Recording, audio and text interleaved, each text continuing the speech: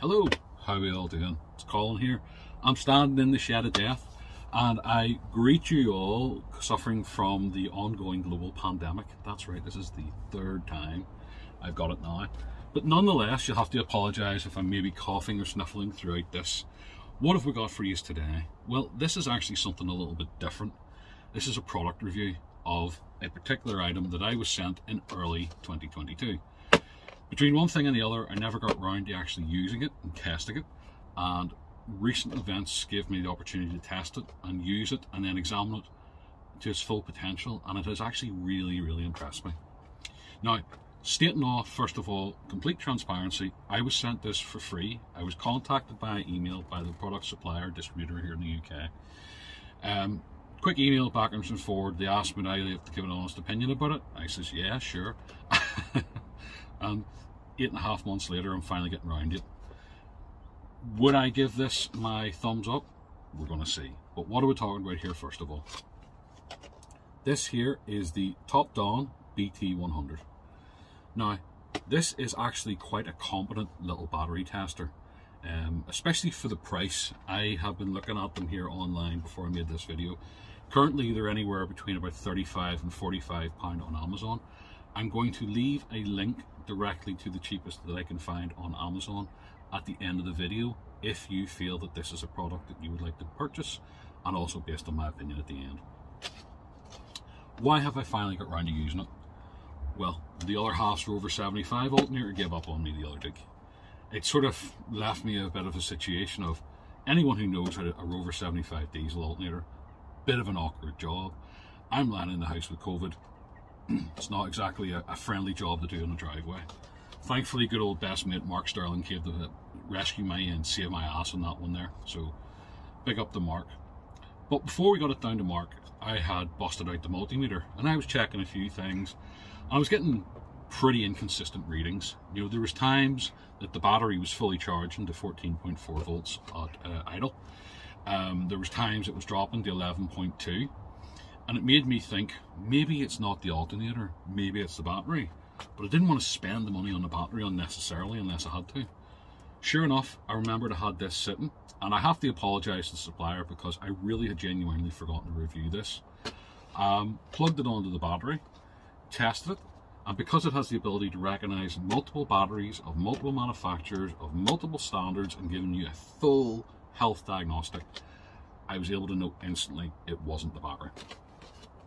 Sure enough, Mark swapped the alternator for me, saved me having to do it before I was coughing my guts out. And this has saved me on unnecessary expense. What do I think of this as a product overall? It's not a bad wee bit of kit, but I'm going to do a quick video here and show you how easy it is to use, and then with my final opinion and the link to the product at the end of the video. Nice little bit of kit, nice size, you know, about the size of a largish mobile phone nowadays pretty compact and has quite a sensible and chunky instruction manual. Now, I have resealed this up for this video, so I have had this open already. Um, and I'm going to open it up here for you now so you can see exactly what the contents are. So, here's the wee unit itself. Again, like I say, very lightweight unit. And the beauty of this little unit is you don't have to put any batteries on it. Using the positive and negative terminals, it will take a charge, off the battery itself.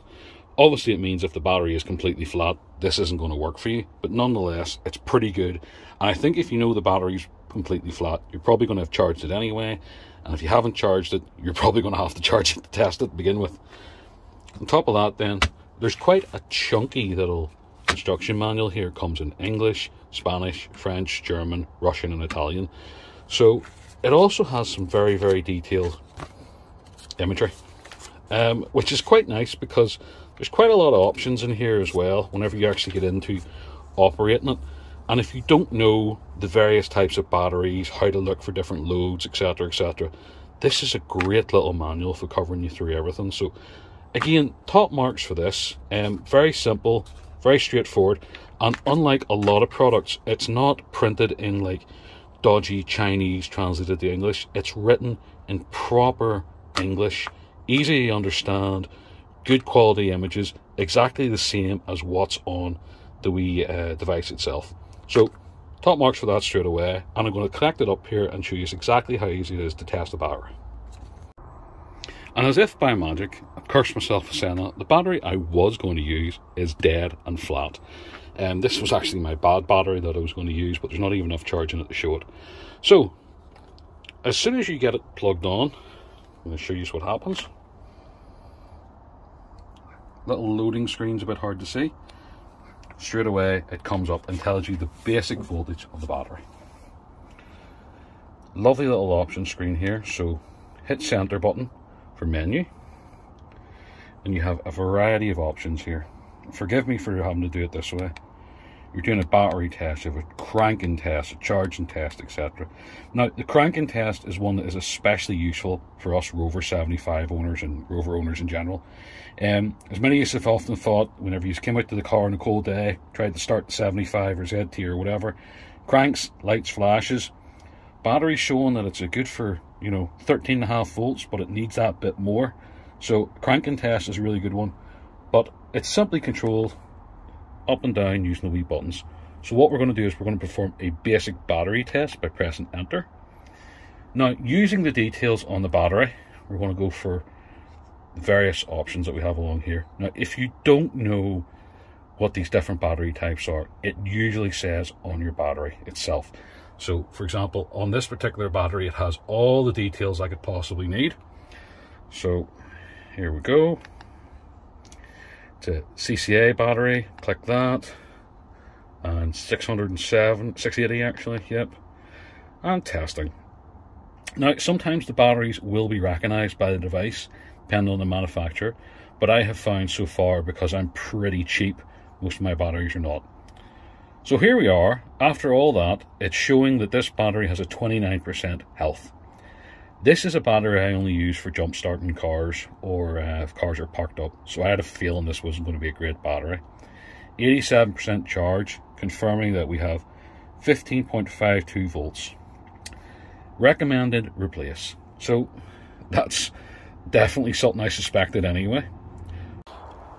Now the next feature we have on this little unit, which is really, really useful. It's a cranking test and a charging test. Now, the cranking test is obviously whenever we start the car. So I'm going to crack on, start the car here, hit enter, start engine. Gives you 30 seconds or so to start the engine. Check the neutral.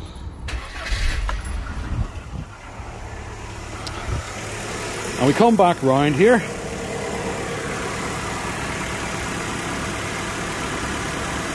Gives you the time in milliseconds, the voltage when cranking, and the cranking rate. Again, a useful little feature to have on this. I know for a fact this is one of my older batteries as well. It's going to need replaced at some stage, but nice to have. Now, the other thing as well is, and this is where it's going to really, really help people out, is the charging test. So, very simple, connect your battery up and press enter to start and continue.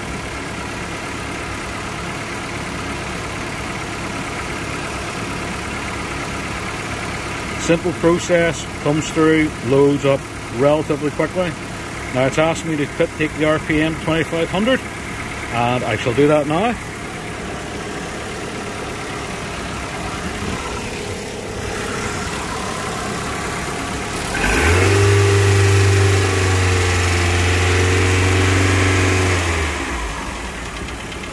There we are. Gives you the appropriate values switch the car off here.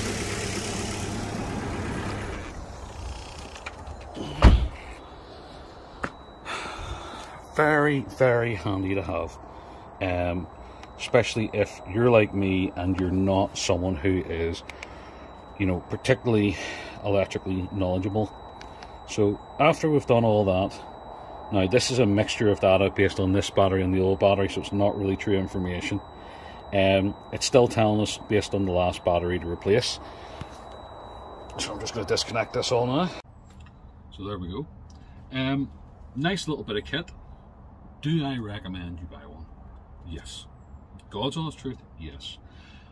It has saved my biscuits here. And that is why I am doing this review, because it's a product that actually proved its worth before I've done the review. it helped me figure out with my 75 exactly what was going on. Multitude of features on it, testing batteries on the bench, testing charging, etc. etc. You can change the languages. It's as simple as just scrolling up and down and picking it. And it is, for me, value for money, quite a useful and indispensable bit of kit. Where do I think it particularly is going to benefit someone? Well, if you have several cars, you're probably going to be like me. You might not have them on the road all year long. So you park them up in the shed or park them in the garage or whatever and you turn them over to charge the battery, etc. Well, maybe just before you turn them over, it might be worth checking the battery. And if the battery's okay, then turning the car over and you can see what it's charging at. We all know that it's that one time of the year that you take the car out for the first time in four or five months. It drives okay, you get to where you're going, you come back, put your key in, car won't start. Battery's flat, alternator's gone, whatever. This is going to be your friend in preventing that, especially if you're quite religious about keeping an eye on your batteries over the colder times of the year, and also if you have a selection of vehicles that you're not using all the time. Like I say, I would purchase this with my own money. I highly recommend it. Is it going to replace a multimeter? No. Is it a nice complement to a multimeter? Absolutely. Um, especially from the point of view of being a simple bit of kit. Like I say, it comes in a nice wee box, instruction manuals, blah blah blah. Um, at the minute, I have found it on Amazon in and around £38. Some of the links are cheaper. What I will do is when I put this video up, I will post up there the link to the cheapest one on Amazon UK. Now, the company that supplied it to me, um, I don't know how much that cost them originally. So it's been sitting, like I said, it's been sitting here several months, and I have discovered that these have been selling as much as £55. So there's a bit of um, price and variety. So find the cheapest you can, but buy it. Recommend it all day long. Next week, simple bit of kit, and really, really, if you are a shed enthusiast like me who just likes to tinker and repair stuff in their spare time, this is a great wee thing to have about you. But anyway, folks, that's it. That's the review of the Topdon 100, uh, BT 100 to be specific. That's that. Should have done that about nine months ago. And it just shows you that if I hadn't had this, I wouldn't have been able to know within 10 seconds of popping a bonnet on that 75 of mine and that would tell me that my alternator was gone. Yes, you can be reasonably sure going other ways with uh, multimeters and the like, but this gave me the definite answer and I really, really recommend it for that purpose. So, that's it folks. Thank you very much. Another wee quick video, Robson Rover Repair. Um, if you enjoyed the content, please like, subscribe, share, comment, all that good stuff. I really, really hope you enjoy that. There's going to be more product reviews on the channel coming forward here in the next year or two.